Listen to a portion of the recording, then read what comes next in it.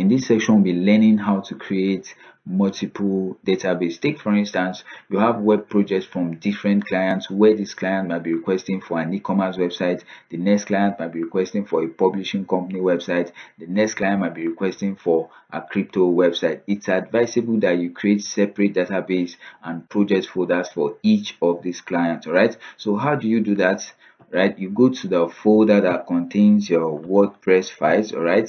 So right here you open the folder. This is the process we've done before. You highlight everything by pressing ctrl a all right? Then you right click here. You click on copy all right? Take note that we are not copying the wordpress folder. We are copying the content in the wordpress all right? After that you go to your pc here you click on your pc you locate your local storage then you locate the folder called wamp all right you open that folder you go to your www here you open that folder here. Then right here you're going to create a new project all right so you right click here you over your mouse where you have new then you click on folder all right so right here you can call this folder anything but let me call this project 2 right then you hit the enter key here now you're going to open that particular folder and you paste the WordPress content here.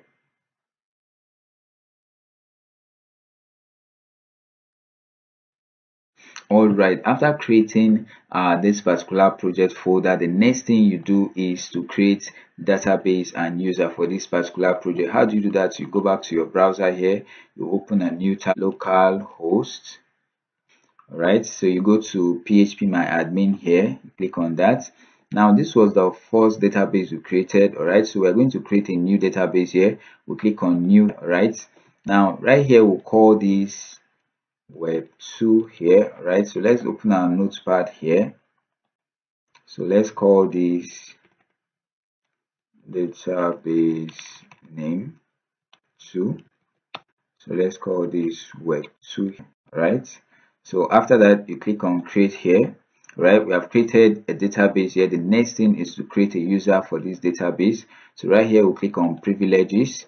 Then we'll click on add new user here right? So the username here you can call it anything but right here i'll call this user 2 so let's go back to our notepad here. So let's call this database username call this user uh, 2 all right then under the host name here click on localhost then the password here let's call this user 2 password. Right repeat that here. User 2 password. So let's go back to our notepad here and let's add that.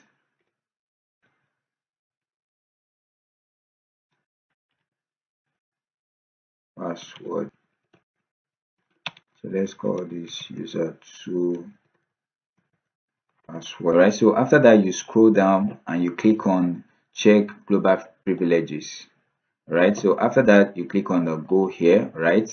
So we have successfully created a new database and a new user all right? So let's connect our wordpress to the user all right? So how do we do that? Localhost forward slash the name of our project project 2 forward slash wp admin right?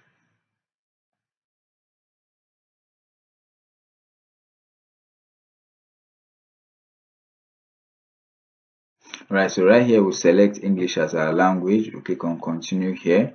Right so we click on let's go. So this way we get to enter the database name the username and the like. So let's go back to our notepad here um the database name here is web2 we'll copy that here paste that here.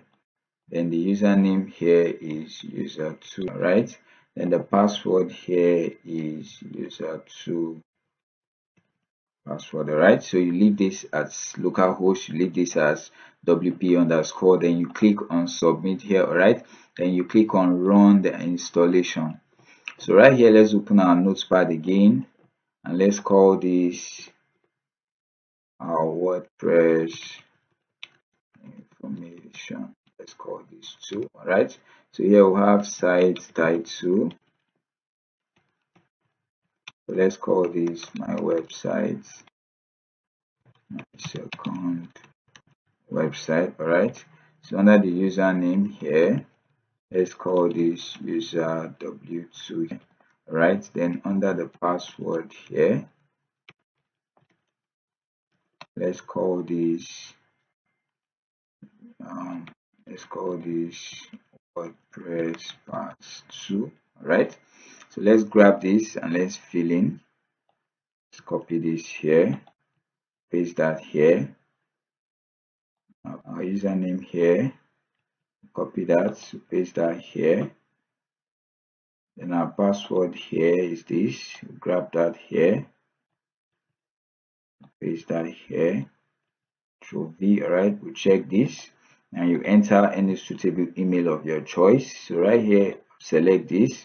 Now you leave this blank then you click on install wordpress all right now right here you click on login. So we're going to log into the second dashboard. So let's copy our credentials here username is user w2 paste that here the password here is um wordpress pass 2 copy that here paste that here right click on login here right right so it's going to create a new dashboard for us right? So this was the first dashboard we had. Now this is the second dashboard. This is very very important. So you can do this for as many clients that you have all right? So if you are having lots of web projects this is a way you can create multiple database. You can go as far as creating 10 to 20 database in your wordpress all right? So in the next section here we'll be learning how to enhance our WAMP server to function with WordPress. See you at the next section.